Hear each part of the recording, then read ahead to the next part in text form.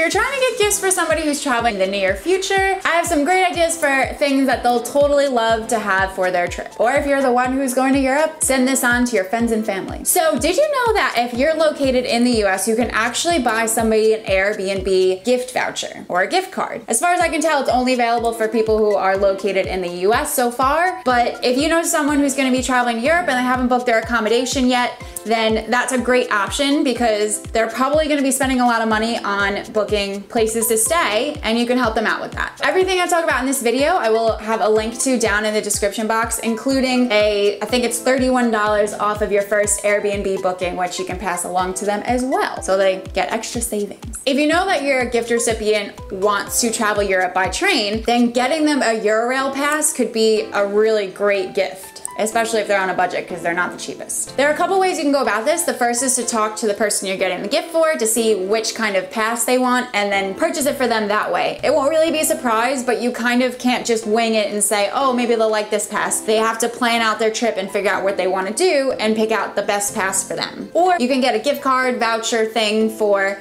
Rail Europe, which is a seller of Eurail passes. So you can get them like $50, $100 and help contribute towards their rail pass. If your recipient will be spending some time in Europe's major cities like London and Dublin, and they're planning on doing lots of sightseeing, then something like the London Pass or Hop on Hop Off Tour bus ticket could be a great option. You've probably watched the video that's popping up here about what the London Pass is, but there's also one in Dublin, Vienna, Paris, and Berlin, and you know it gets them free access access to lots of the biggest attractions around each city. I also have a video about how hop on hop off tours work specifically for London, but they're pretty much the same around the world and they're available in cities all over the place. So you can watch that video next too if you think that might be a nice option. If your recipient will always want to be connected to the internet but won't have an international phone plan like most of us won't when we go abroad, then getting them a pocket Wi-Fi device rental could be a great option. What that is is essentially this little thing that you can keep in your pocket and it connects to the Wi-Fi in whatever country that they're in and then you can connect your phone to that that, it's kind of like a little hotspot. You can connect your phone up to like usually three or four devices. So if there's somebody that likes to Instagram all the time, if you want to be able to WhatsApp them, or if they're just constantly Snapchatting, this could be a great option. And also could be something that they didn't think they could afford or that they just never thought to get. A great stocking stuffer idea is to get a refillable water bottle. It's much tougher to get free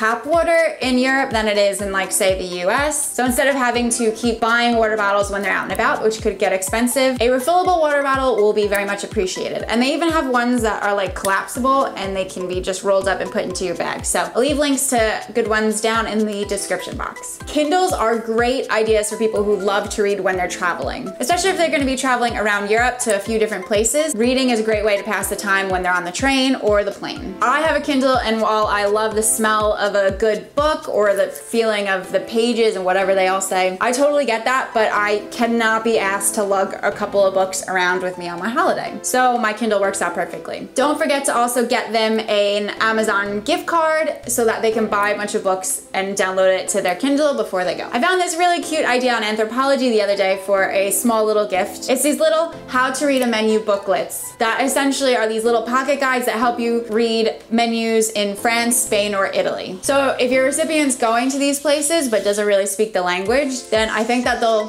put this to good use. Also really good idea for like a Secret Santa gift. For more travel related gift ideas, make sure you watch my Travel Lovers gift guide, which is popping up like right here.